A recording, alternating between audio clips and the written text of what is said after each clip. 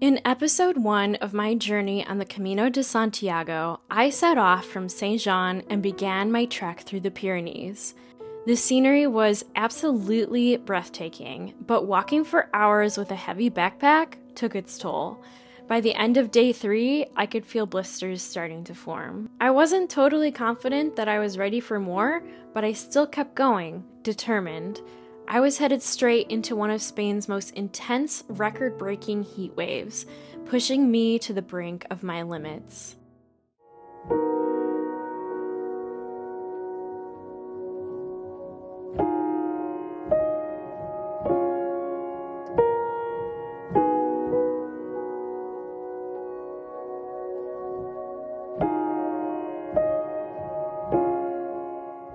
All right, getting going on another day today.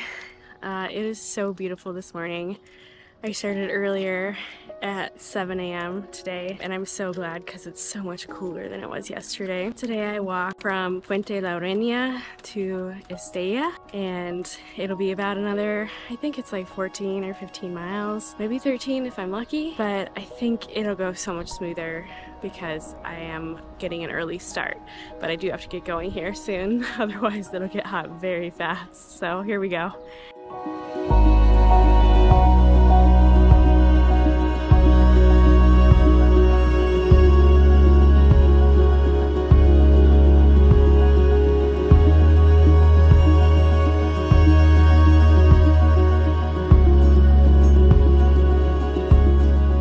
Right, I just passed through a town and fortunately I found an open pharmacy.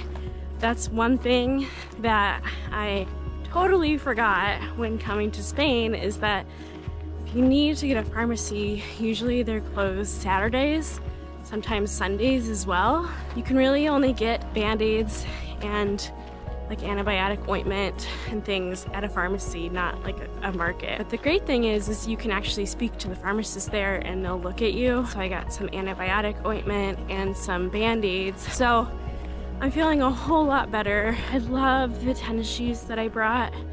I really think that they are the best. They have so much great cushioning for impact, but I think I made a mistake and I got a pair that was exactly my size instead of half a size up. So if I were to do this again, I would get a size slightly bigger. So that was a mistake because when you walk, your feet swell and that makes, you know, your toes rub up against the shoe. Lessons learned along the Camino.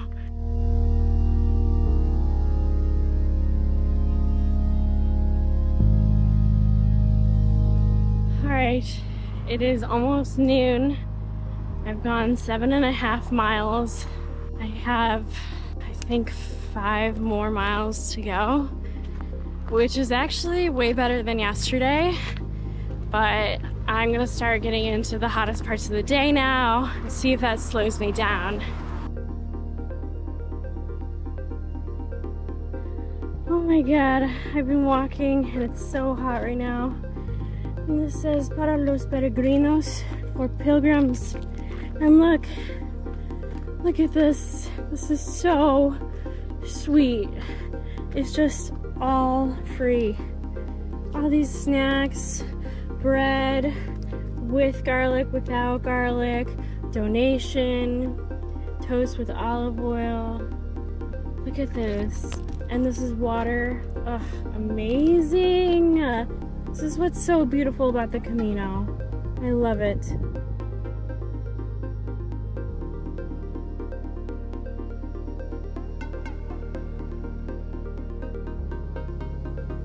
Wow, I'm so thrilled. Two and a half kilometers left before I get to my hostel for the night. I am so hot and tired. This has been a long one, but I actually made better time than yesterday, so I'm really glad for that. It's just like today's temperature has been hotter and it, this is this is tough. We're going through a heat wave right now, and I don't know how long it's gonna last. Each place I go to might have a little bit different weather, so it's like a little bit hard to for me to guess. I have to look up the weather in each place, but pretty much the whole region is like just hot. We're talking like 95 degrees Fahrenheit. On some days it'll reach 100 degrees by 3 o'clock. Leaving early is so important right now because it just gets so hot by the middle of the day. And then also, it means it's really important to walk kind of quickly, like as as quickly as you can with as few stops as possible. You know, of course I do stop if I really need to, if I really feel I'm feeling like shaky or something, then I'll stop and eat something, make sure I drink some more water. So it's worth it to stop, you know, to like refuel. But I try to, I'm trying to stop as little as possible because I think it's gonna be this way for a while.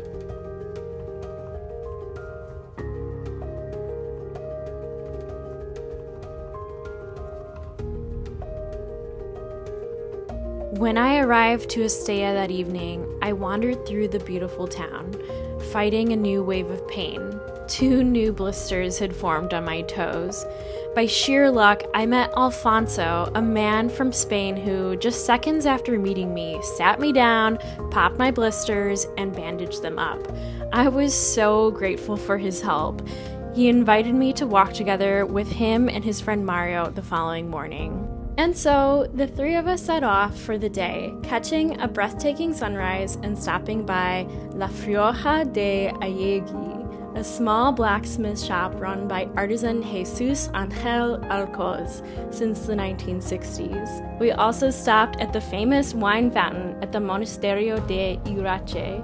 You can get your fill of free red wine here, although be careful. I had one sip and quickly found out it's pretty strong. Despite the scorching heat that day, I was having a great time getting to know my new friends who only spoke Spanish. It was perfect since I was hoping to improve my Spanish skills along the Camino.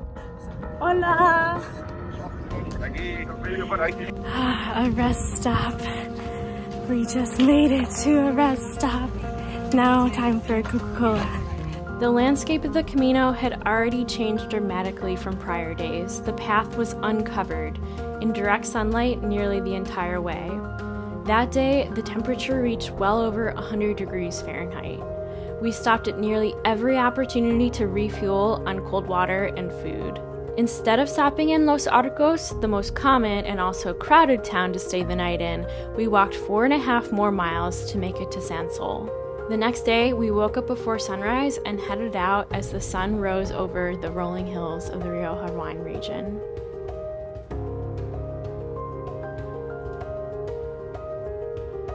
It felt like I was walking through a living postcard.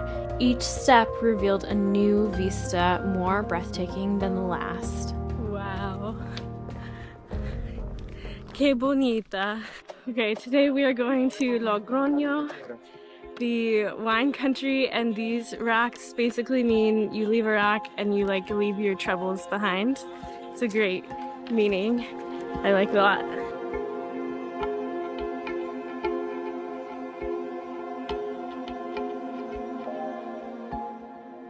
Today we go from Sansol to Logroño which is the wine country, will be officially in Rioja, part of Spain that's known for its amazing wine, and I'm so excited. I'm taking two nights to rest there, uh, which will be well deserved after all this walking. It's been very fast paced. It's like you wake up at 6.30, you start walking, and then you leave, you survive through the walk, which takes at least six hours if you're lucky, sometimes longer, because you want to stop when it gets really hot. And there's uphill and downhill, but essentially when you finally get there to your albergue or where you're staying, you need to do the laundry, you need to feed yourself, make sure you're hydrated, and then you have a little bit of time to relax, maybe an hour, and then you do it all again the next day. So I'm so excited to do my two days rest uh, and then continue on from there. It's been going great so far. I'm really getting into the rhythm of walking so much, happy. It's just,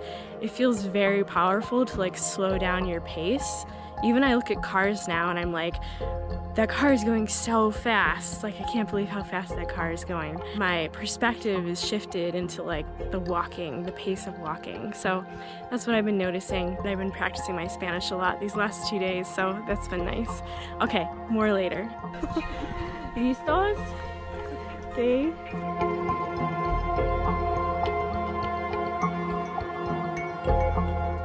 Can actually eat these. They're blackberries or moras in Spanish. You can just pick them right off the Camino. I've seen them a whole way. I was really afraid to eat them at first because I was like, I don't want to die eating berries.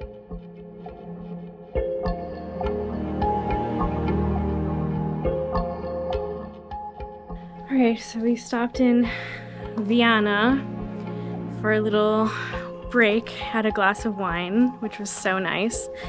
We're headed to Logroño, which is known for its wine, and I'm so excited. Hi guys! Hi! There's my friends. Um, the two brothers. I met these two brothers, uh, Mark and uh, Bruce, and um, they're so great. It, that's the thing that's so beautiful about the Camino is you start seeing uh, some familiar faces. Like you meet people at a certain point, and then later down the line, you'll like encounter them again because pretty much everyone goes at roughly the same pace, and it starts to feel like a family. And I love that a lot. So right now, we're just taking a lot of breaks because we're getting into the afternoon and it's really hot again. So um, this will be a hard nine kilometers, but we're ready. I have a lot of water and I think it'll go well. And then I will have two nights rest in Logroño. So I definitely think that you could spend uh, the night in Viana as well because the stretch from Los Arcos to uh, Logroño is really far. It's like 20 miles long. So what we did is instead we went a little further yesterday and stayed in Sansol. And then from Sansol we're going to Logroño. So it's um, still a long day, but it's less than if we went from Los Arcos to Logroño. Um, another option you could do is go from Los Arcos to Viana, uh, which looked really charming. Uh, that looked like such a great town. So there's definitely different places that you can stay along the way. You don't have to stay at the biggest spots.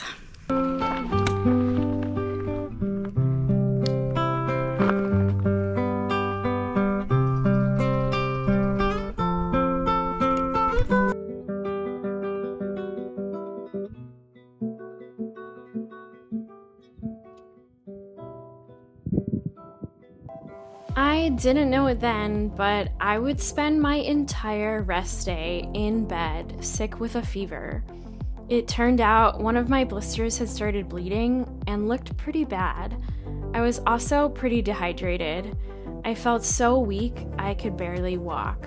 I didn't want to drink or eat anything. Even a cafe con leche sounded terrible.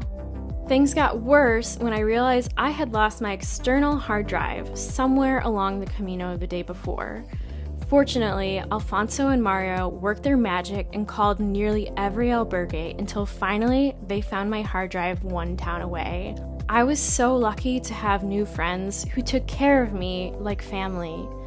For me, it was difficult to receive help from people whom I had just met and who owed me nothing. I wanted so badly to find a way to give their kindness back. From Logroño, the three of us parted ways. The next day, since I was still recovering, I took the bus instead of walking to Navarrete. Alfonso continued walking on the Camino, and Mario returned home.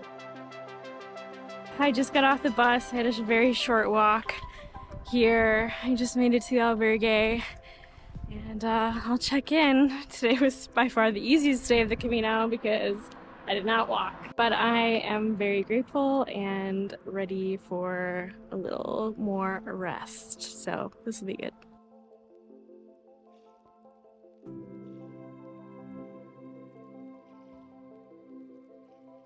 I'm here in my room in my albergue in Navarrete. Um, I'll just go ahead and show you kind of a good example of what your typical private room looks like um, on the Camino. So I got a private room with a private attached bathroom, and this costs about 55 euro. Go ahead and take a look. So this one has two beds instead of one. Sometimes there's just one. Nice little closet, beautiful window with a view, my backpack, a mirror. There's even a little TV, which I won't be using, but that's nice. And here is the bathroom. So lots of space, actually. This is a luxury, quite honestly, when you're on the Camino. If you stay in the shared dorm rooms in the albergues, you could be sleeping with up to like, you know, even a room full of 100 people, honestly. I haven't slept in a room full of 100 people. The most I've slept in a room so far has been, I don't know, maybe seven or eight other people. And that doesn't bother me. It's just the issue is the snoring. And just if people come in late, um, or if you want to go to bed early and people come in later than your bedtime, that's when the issue comes into play.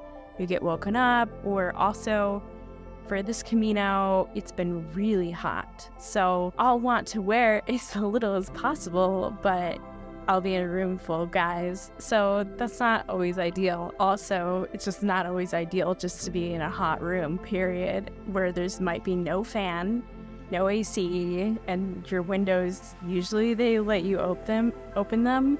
But I heard one story um, someone was telling me where they wouldn't let them open their windows at night so if you get uh, a place at an albergue in a mixed dormitory, um, you could be paying as little as 15 euro, which is such a great deal. But just keep in mind, you do sacrifice some of those comforts. Stay tuned for the next video in my Camino de Santiago series coming next week. If you enjoyed this video, please give it a thumbs up. Thanks again for watching and buen camino!